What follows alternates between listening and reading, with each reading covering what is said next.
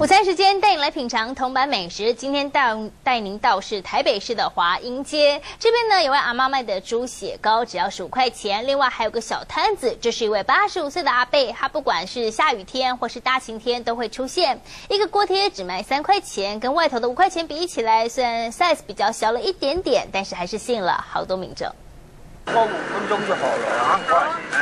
想吃热腾腾的锅贴，要先有耐心。小小一个摊贩就在台北市华阴街口，八十五岁阿贝一个人边包边卖，卖的价格很佛心来着，十个锅贴只卖三十块，等于一个三块钱。上门的客人从来没停过。好不容易锅贴起锅，马上就被抢光光。客人愿意等待，就为一尝台北少见的三块钱锅贴。还蛮好吃的啊。那所以一个三块，你觉得划算吗？对啊，还蛮好看。以后还会常来买吗？应该会变贵，变过就会来买了。一个三块钱，啊、所以外面可能吃不到。讲啊，没有生意啊，我力多小啊。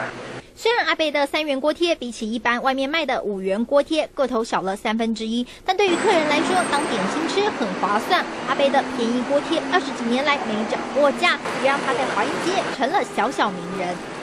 十九块。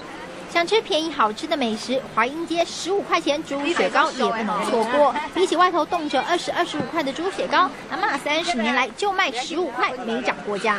好喝，好吃，小吧。哎，啊，小小啊啦。比比，十五元猪血糕比二十元的小三分之一，但好味道不输人。物价飞涨，铜板价就能吃到的便宜小吃，靠薄利多销博得超旺人气。中天新闻，曲小佩、王宗翰台北报道。